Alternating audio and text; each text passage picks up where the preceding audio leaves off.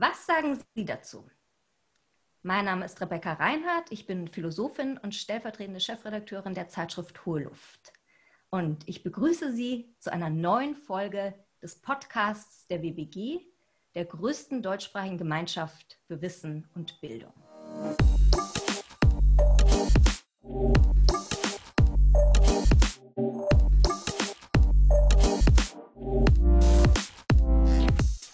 Mein heutiger Gast, das ist Jürgen Kaube, FAZ-Herausgeber und Ludwig Börne-Preisträger. Guten Tag, Jürgen Kaube. Guten Tag, Frau Reinhardt aus Frankfurt. Ich freue mich, dass Sie da sind. Wir haben heute ein großes, um nicht zu sagen ein übergroßes Thema. Was war Hegels Welt? Es geht um keinen geringeren als Georg Wilhelm Friedrich Hegel. Und ich muss sagen, persönlich, meine, lustigerweise meine erste Assoziation zu Hegel war Freiheit. Ich meine die innere, die geistige Freiheit, weil ich meine mich zu erinnern, dass ich damals ähm, an der FU in meinem Studium während eines Seminars über Hegels Phänomenologie des Geistes das erste Mal für mich verstanden habe, was es bedeutet, eine geistige Freiheit zu haben, unendliche Räume ab Räume des Denkens abschreiten zu können was für mich nicht heißt, alles verstanden zu haben. Also innere Freiheit, würde ich sagen, heißt für mich eigentlich bis heute, und ich glaube, es ist gerade in diesen unsicheren Zeiten auch so wichtig für mich, innere Freiheit heißt, nicht alles zu verstehen, aber die Möglichkeit zu haben, es verstehen zu können. Und dafür habe ich ein Leben lang Zeit. Jürgen Kaube, was ist denn für Sie Freiheit? Hm, Freiheit ist, glaube ich, die Möglichkeit, ähm, sich kognitiv auf Situationen gut einstellen zu können, in denen man sich befindet und äh, nicht ähm, das eigene Handeln als schicksalshaft zu empfinden. Also zu sagen, mhm. weil ich mich auskenne, das kann ein ganz kleiner Lebensbezirk sein oder etwas sehr Großes, ähm, weil ich mich ein bisschen auskenne, habe ich äh, Möglichkeiten auszuweichen, äh, mich zu entscheiden, auch spontan zu handeln äh, und bin nicht sozusagen äh, das Opfer der Umstände. Okay, okay. Ja, also auch für Hegel sicherlich ist Freiheit ein ganz wichtiger Begriff. Wir sprechen heute über Ihre große Hegel-Biografie Hegels Welt heißt die. Wir befinden uns ja im Jahr des 250. Geburtstags von Hegel. Und was mich natürlich ganz am Anfang mal interessieren würde, Ihre Biografie ist nicht die einzige natürlich, die dieses Jahr entschieden wurde. Was hat Sie eigentlich bewogen, eine große, eine sehr anspruchsvolle Biografie vorzulegen über diese ja, Ikone des deutschen Idealismus? Ähm, ein großer Denker, aber auch ein, schwieriger Denker. Was hat Sie da an, äh, an Hegels Zeit auch so interessiert und was speziell soll Ihre Biografie leisten?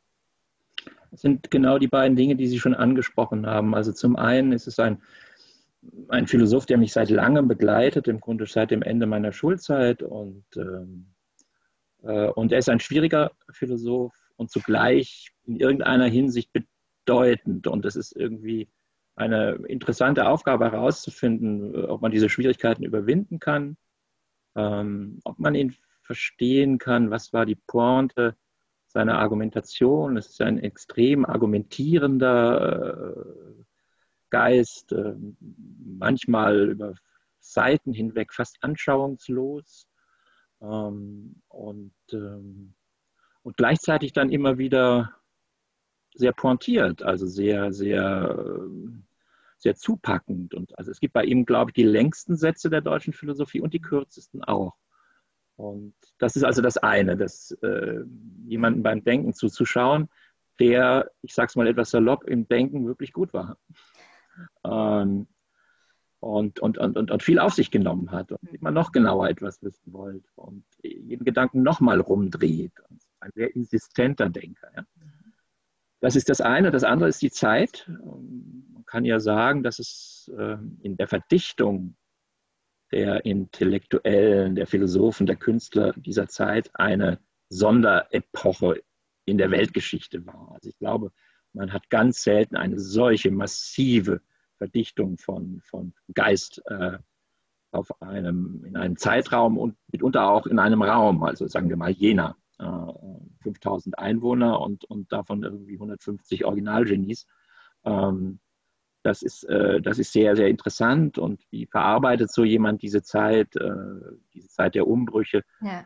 diese Zeit, in der wir zu Recht wohl sagen, da beginnt die Moderne im Unterschied zur Neuzeit. Ja, Richtig. Sagt natürlich, mhm. vorher wurde auch schon neuzeitlich gedacht, es gab Aufklärung und Wissenschaft und, ähm, und, und, große philosophische Projekte, Spinoza, Leibniz, ähm, auch die englischen Empiristen und so weiter. Aber das gibt dann doch nochmal einen Schub, der wirklich modern ist in, in, in, in dem Sinne, wie wir das heute verwenden. Also Hegel ist ein Denker, ähm, den man nicht nur historisch betrachten kann, sondern wie man sagen muss, das ist eigentlich in irgendeinem Sinne ist das immer noch Gegenwart. Also man könnte sagen, da fängt die Gegenwart an.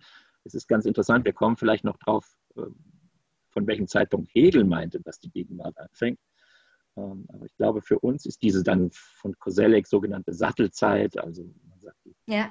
Alteuropa, eine agrarische Gesellschaft, eine Ständegesellschaft, ein, ein Denken in Episoden, ein, ein sehr punktuelles, verstreutes Denken äh, äh wird eigentlich abgelöst durch eine Umwälzung aller Dinge.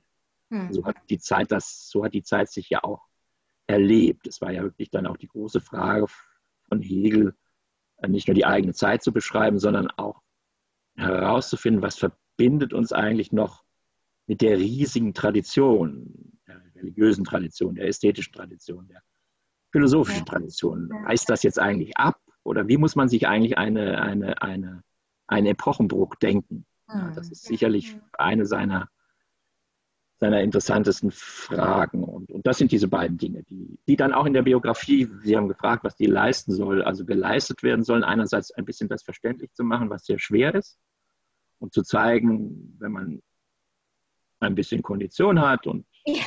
und ein bisschen äh, Freude am Denken, dann ist es auch wieder nicht so schwer. Also es ist nicht unzugänglich äh, äh, und, dunkel.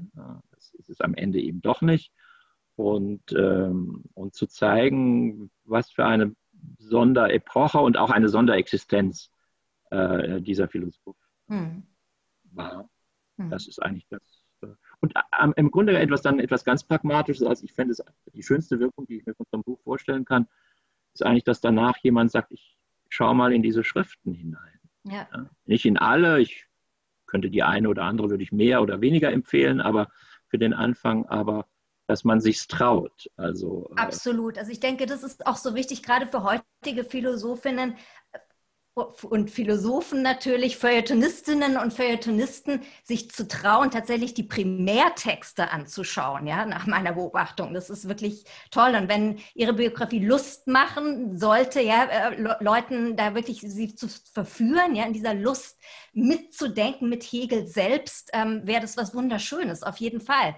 Was ich mich auch gefragt habe, ja, Sie sind ja nun mal auch vieles, also sozusagen Sie vereinen ja in Ihrer Person viele Kompetenzen. Ja? Sie sind studierter Philosoph, Sie sind aber auch Luhmann-Schüler, Sie sind Journalist. Durch welche Kompetenzbrille, jetzt mal etwas pointiert formuliert, haben Sie Hegel gelesen?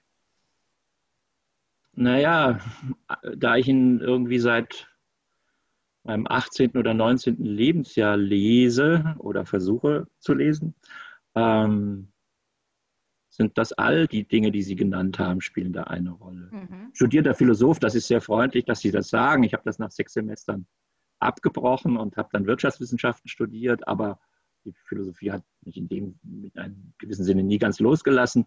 Äh, bin dann zur Soziologie gekommen nach dem Studium und, und, und Niklas Luhmann würde sicherlich von manchen auch als eine Art Philosoph bezeichnet. Er hätte das sicherlich von sich gewiesen, aber äh, wir kommen ja. vielleicht noch drauf, der Anspruch des Werkes ist ja ähnlich groß, äh, wie das bei Hegel der Fall ist. Ähm, und der Journalismus, ähm, der führt jetzt nicht direkt zu Hegel, obwohl Hegel ein, anderthalb Jahre seines Lebens, er hat sie sicherlich nicht als die äh, mühelosesten seiner, seiner, Jahre seiner Lebenszeit bezeichnet, aber da war ja dann auch in Bamberg äh, Journalist und zwar der einzige Redakteur einer Zeitung die auch nur eine Seite umfasste am Tag. Ähm, also der Journalismus führt nicht unbedingt äh, auf Hegel zu, aber ähm, sagen wir mal so, was man im Journalismus lernen kann, ich würde mal sagen, insbesondere bei der Zeitung, äh, für die ich arbeite, ähm, ist ähm, zu versuchen, schwierige Dinge zu übersetzen. Das ist ja. also eine Leistung, die wir täglich vollbringen.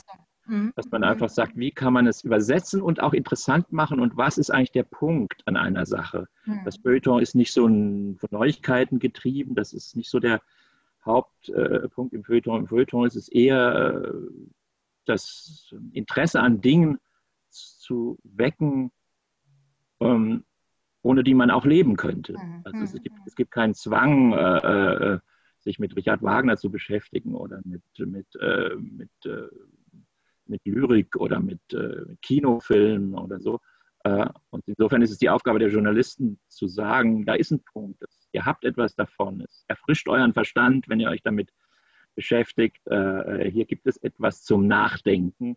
Und das ist vielleicht auch ein, ein, ein, eine ganz günstige Voraussetzung, sich mit mit so jemandem wie, wie Hegel zu beschäftigen. Also das schadet, glaube ich, nicht, wenn man dann sagt, so, äh, jetzt versetzen wir uns mal, und das fällt nicht schwer, weil wir sind selber von dieser Art, wir versetzen uns mal in einen Menschen, der eben kein professioneller Philosoph ist oder kein Hegel-Forscher.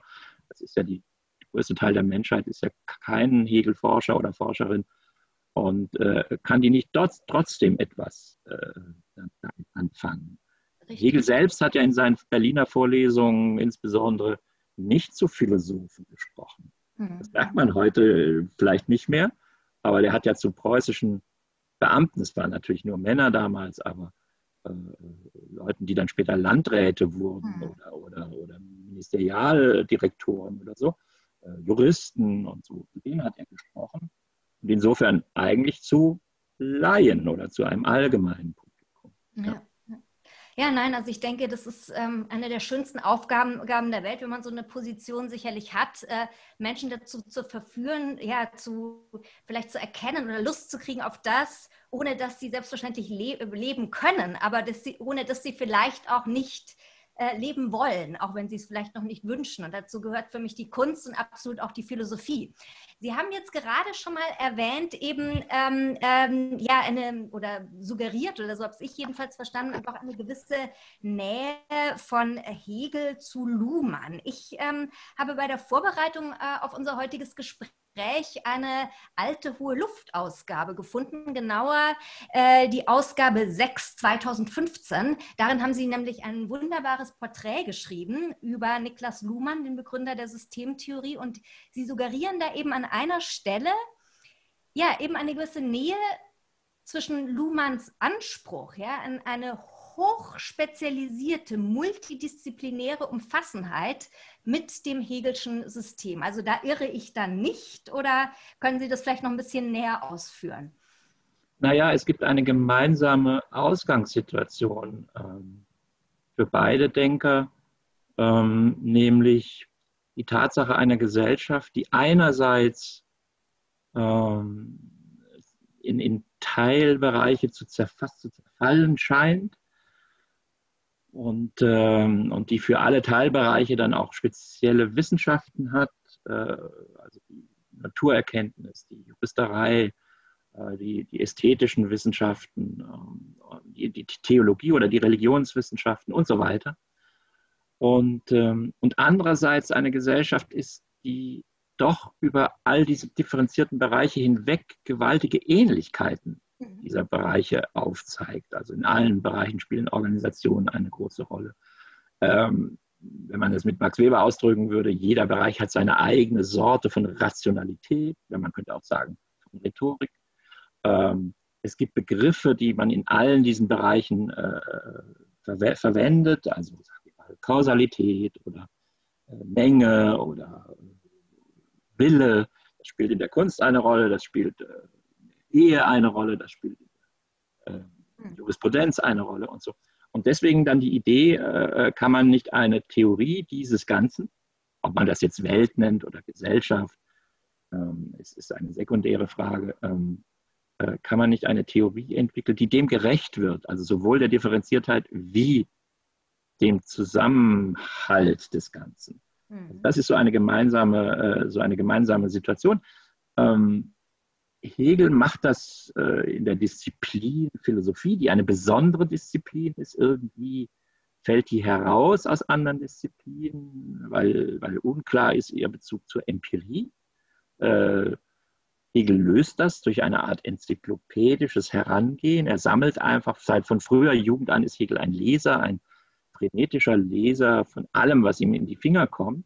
Hm. Und, und, und äh, es ist ein, ein großes Vorurteil, dass er, dass er in den Naturwissenschaften nicht bewandert war oder sich das alles nur zusammenfantasiert hat. Er begeht Irrtümer, aber das begeht jeder zu seiner Zeit. Äh, er, war, er war eine mathematische Begabung, er kennt sich in Mathematik sehr gut aus. Und, äh, er liest aber eben sehr breit. Mhm. Geschichte, Medizin, ähm, Farbenlehre, da setzt er dann auf Goethe und das war halt ein Irrtum. Aber ähm, also er, er, interessiert sich eigentlich für alles. Er hat eine homogene Neugier, wie das der französische äh, Wissenschaftstheoretiker Jean Bachelard mal gesagt hat, ähm, über, über, über, über, gute Forscher. Ähm, und das ist etwas, was man von Niklas Luhmann auch sagen kann. Also wir haben hier, äh, das kommt nicht oft vor, dass es Theorien von allem äh, angestrebt werden. Und, äh, und die, die Betonung liegt auf Theorie. Es ist ja keine Ideologie. Das hat man manchmal gesagt zu Hegel, aber es ist eigentlich politisch nicht wirklich verwertbar und es ist auch nicht in politischer Absicht geschrieben. Ähm, das würde für Niklas Luhmann auch gelten. Also ähm, Theorien von allem, die, ähm, die jetzt das Problem haben, welche Art von Evidenz hat man denn, wenn man kein Spezialist der Medizin ist, kein Spezialist, kein Jurist, kein Historiker, kein Physiker, zum Teil äh, für Hegel gab es diese Disziplinen als disziplinäre Körper noch gar nicht, sondern es gab halt einzelne Physiker. Aber die Physik als Disziplin entsteht eben erst. Ja. Hm. Das ist so eine, eine ganz spezielle Situation. Und das kann man sagen, manche haben das auch getan, sowas muss scheitern. Das geht einfach nicht. Wir, wir können das nicht haben, eine Theorie vom gesellschaftlichen oder geistigen Ganzen, äh, wie Hegel das vielleicht formuliert hätte. Aber naja, man sollte sich es erstmal anschauen, bevor man dieses Urteil äh, oder Vorurteil schnell bildet.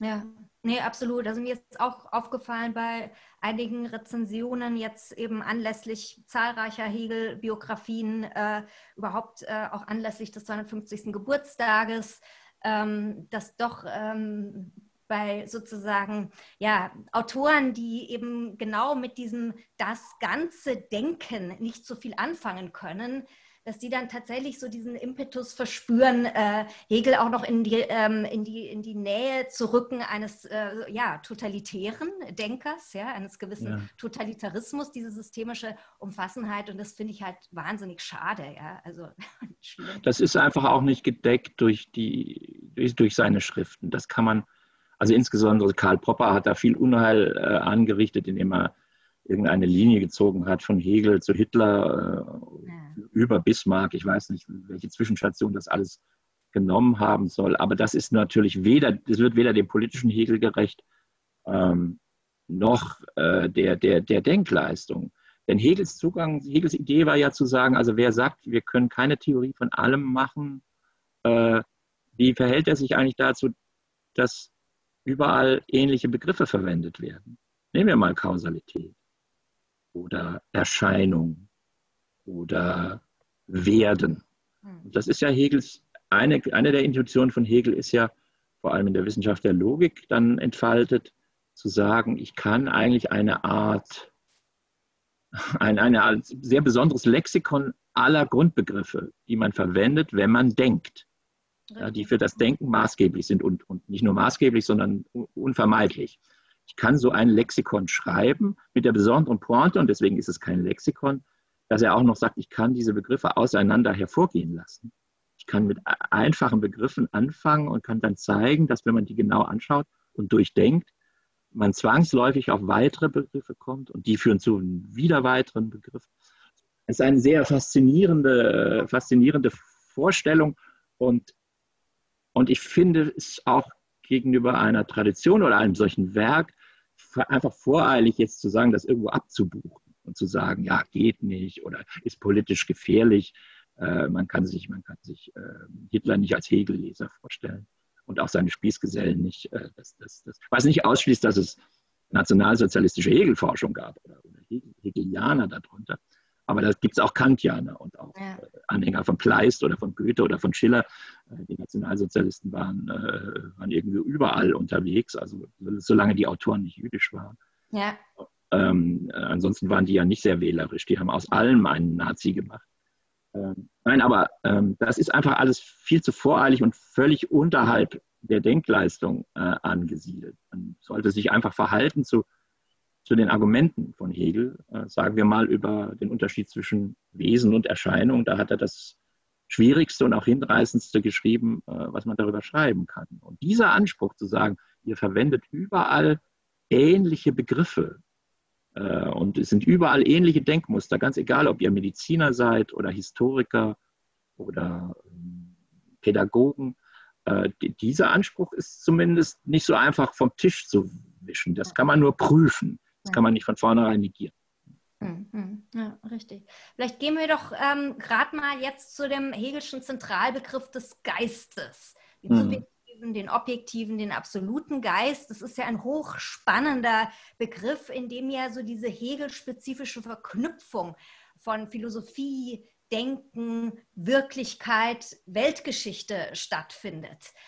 Was würden Sie sagen? Ähm, welche Wahrheit oder was ist das Besondere, das Spezifische, das der Hegelsche Geist erfasst hat oder erfassen wollte?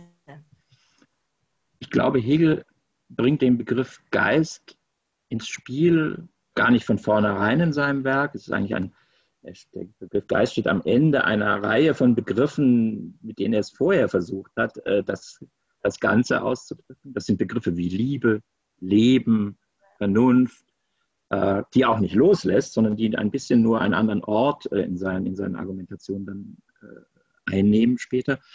Er versucht mit diesem Begriff Geist ähm, etwas zu erfassen, ja, was, wo man, wovon man vielleicht zwei Eigenschaften betonen muss. Das eine ist ähm, eben dieses, ähm, diese, dieser, dieser Eindruck, den er hat und, und, und dieses Argument, das er verfolgt, ähm, dass alles, was wir sagen, begriffliche Voraussetzungen hat. Also selbst wenn man sagt, ähm, nein, der Idealismus, das ist abgehoben und im Prinzip ist der sogenannte Materialismus maßgebend, dann würde Hegel erstmal sagen, naja, Materie ist ja auch nur erstmal ein Begriff. Materie im Unterschied, man könnte auch sagen, es ist eine Unterscheidung, Materie im Unterschied zu, meinetwegen Seele oder, oder, oder, oder eben Geist. Ähm, also Hegel insistiert, dass äh, es gar nicht ohne Begriffe geht und, ähm, und, und dass es dann lohnt ist, äh, den Begriff des Begriffs selber zu untersuchen. Was heißt das eigentlich, Begriffsbildung? Ja. Was heißt eigentlich unterscheiden?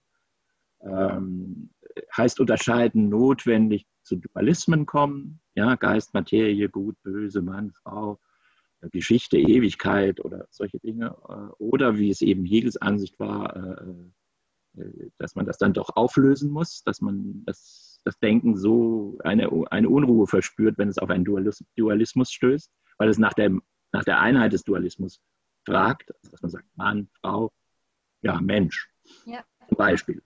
Äh, oder Mann, Frau, Geschlecht.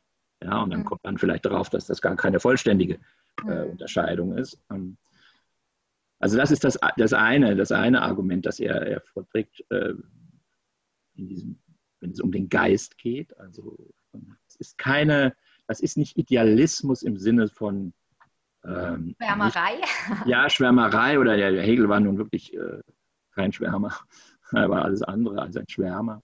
Äh, nein, aber es ist auch nicht Idealismus im Sinne, im Sinne äh, geisterreich oder, oder, oder äh, alles ist nur, alles ist nur eine Konstruktion oder ja, die Wirklichkeit gibt es gar nicht oder irgendwie so etwas. Äh, oder wir können von den Körpern absehen oder sowas. Das ist alles, findet sich alles in den Texten gar nicht. Ja.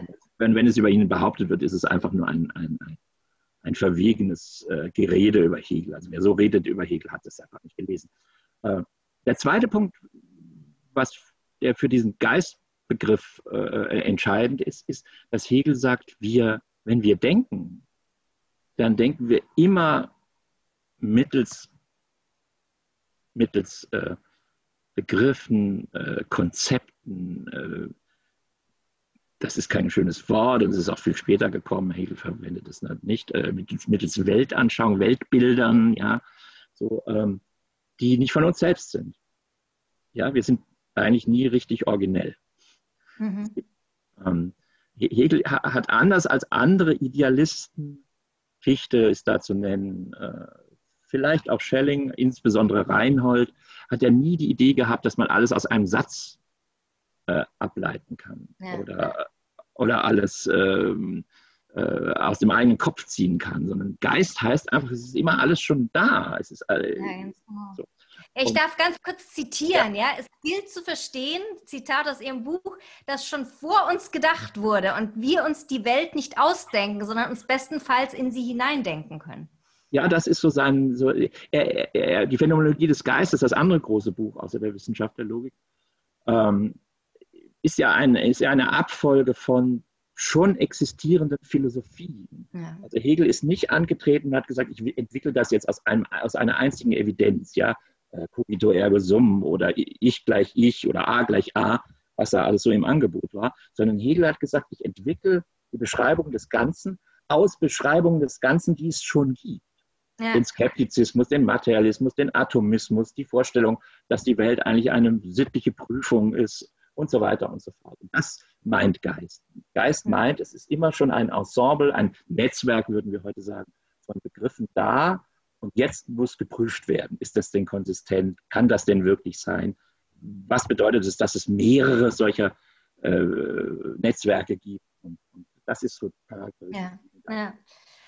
Ja, es ist ja das Interessante, dass Hegel ja nicht nur ein Geistwesen war und nicht nur aus Gedanken bestand, äh, äh, die auch wieder neue Konstruktionen der Wirklichkeit schaffen, sondern Hegel war ja auch ein Mensch aus Fleisch und Blut. Ähm, Hegel hatte eine Familie, ähm, er hat einiges geschrieben über Ehe und Familie, aber er hat es ja auch gelebt. Ähm, was war denn, es geht ja sehr viel auch um den Menschen Hegels in ihrer Biografie Hegels Welt. Was war denn Hegel für ein Mensch? Ja? Jetzt haben wir gehört, was er für ein Philosoph war. Er war ein Philosoph, der seine Zeit in Gedanken erfassen wollte. Aber was war er für, für sein Mensch? Wie ging sein Leben und sein Werk zusammen zu seinen Lebzeiten?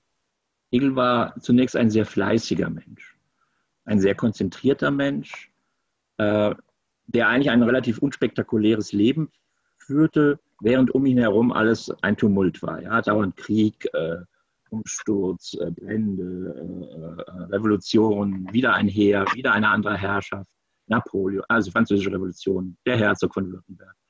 Äh, dann ist er in Bern bei Patriziern, dann äh, die, die, die Folgekriege der Revolution, dann Napoleon, dann die Preußen.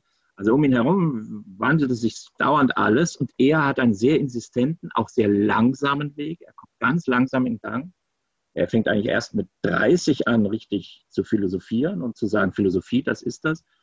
Und er war sehr zäh, äh, er war sehr konzentriert, sehr geduldig. Ähm, und, äh, und ansonsten führte er auch insofern ein unspektakuläres Leben, als er eigentlich in seiner Freizeit nicht weiter die intellektuellen Rolle spielte. Also er war, er war, äh, wenn er, wenn er, wenn er eine Auslandsreise macht, dann schreibt er Postkarten, wie wir sie aufschreiben würden. Er geht in die Oper, um sich zu unterhalten und findet eigentlich dann eher so italienische, komische Opern sehr gut und, und äh, schwärmt die Sängerinnen an und solche Dinge. Also er hat, äh, er hat sich vollständig konzentriert auf das Denken. Das ist, das ist sehr bemerkenswert mit auch gewissen Rücksichtslosigkeiten. Dann. Also er war, er war ein umgänglicher Mensch, sagen alle. Er hat sehr gern Karten gespielt und, und Wein getrunken. Aber er war auch jemand, der jemandem abrupt den Rücken zudrehen konnte. Das ist zum Beispiel der Fall mit Schelling, in gewisser. Weise auch mit Hölderlin. Er war auch rücksichtslos. Ja.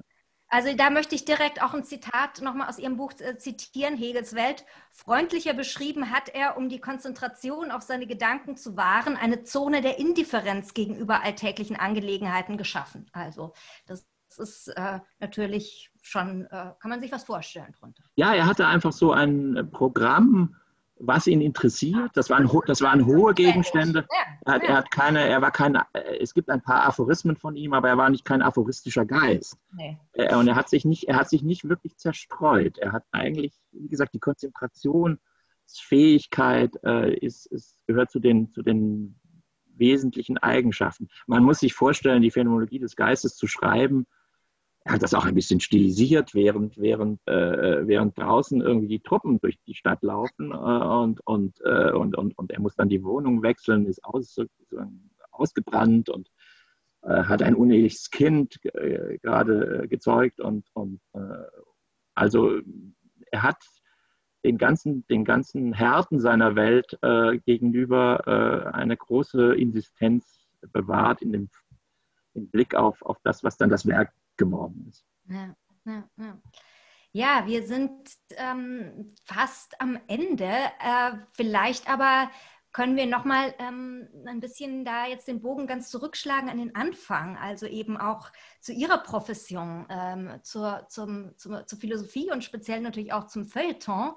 Ähm, ich denke, also mich begeistert Hegel auch, also die, auch die neuliche Beschäftigung mit ihm hat mich begeistert, weil er eben auch so ein widersprüchlicher Denker war, der einen immer wieder so überrascht, also im guten Sinne. Ich glaube, das schreiben Sie auch. Ähm, ich also würde mir äh, ähm, wünschen wollen, ja, dass wenn ich äh, das Feuilleton aufschlage, dass mich noch mehr ähm, Autoren dort, wie auch in der Philosophie, muss ich sagen, mehr in diesem hegelischen Sinne tatsächlich über, überraschen. Eben dadurch, dass sie so eine Art Umfassendheit immer schon mitdenken, die per se widersprüchlich, konfliktreich, gegensätzlich, dialektisch oder was schon immer ist. Was würden Sie persönlich sagen? Was können Philosophen, was können Feuilletonisten heute von Hegel besonders lernen?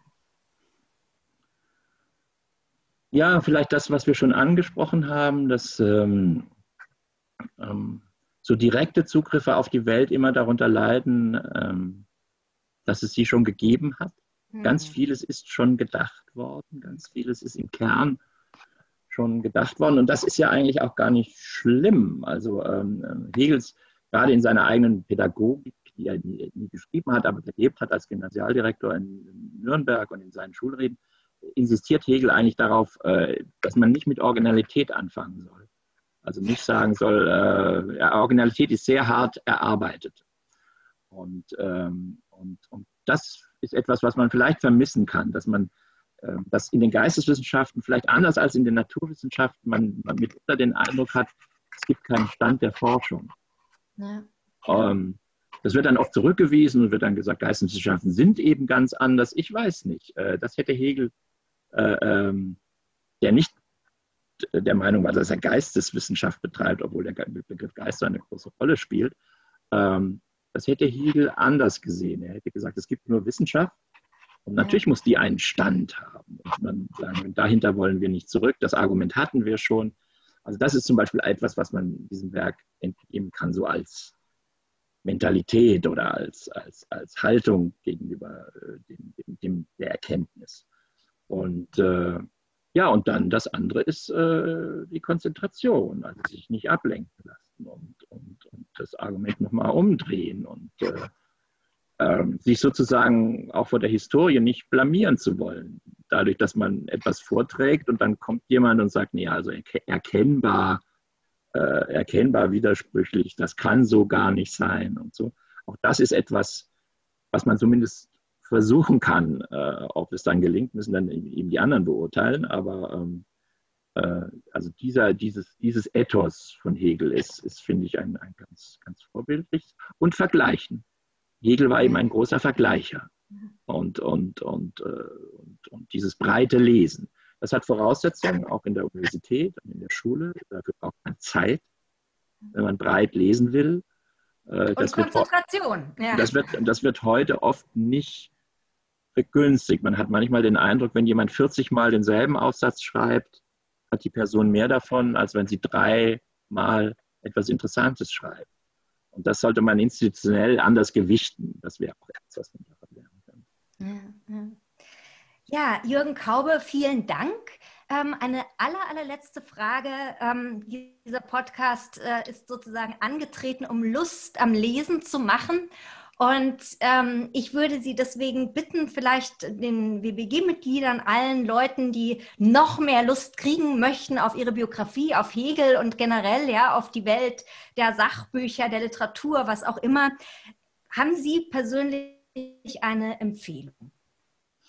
Ja, ich habe eine Empfehlung. Ähm, ist auch ein Philosoph, ein verstorbener Philosoph, der denkbar weit entfernt von Hegel gedacht hat. Hegel spielt in seinem Werk äh, nur an ganz wenigen Stellen eine Rolle. Das ist Hans Blumenberg, ähm, aus dessen Nachlass jetzt äh, ein Band äh, erschienen ist, der heißt äh, Realität und Realismus.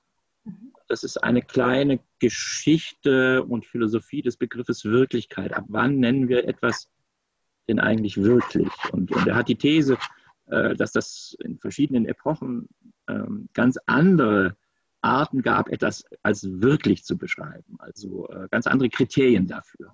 Und das ist, eine, ist ein sehr verständlich geschriebenes Buch, äh, wie gesagt, ein Nachlassmanuskript und das kann man nur jedem empfehlen, auch allen, die in die Philosophie hineinfinden wollen. Äh, dafür ist das ein sehr gutes Buch. Ich danke Ihnen, ich danke Jürgen Kaube, ich danke Ihnen allen fürs Zusehen, fürs Zuhören und freue mich, wenn Sie mir schreiben, Ihre Kommentare, Wünsche, Anregungen, Kritik auf der WBG Facebook-Seite, auf der Community-Plattform. Was sagen Sie dazu?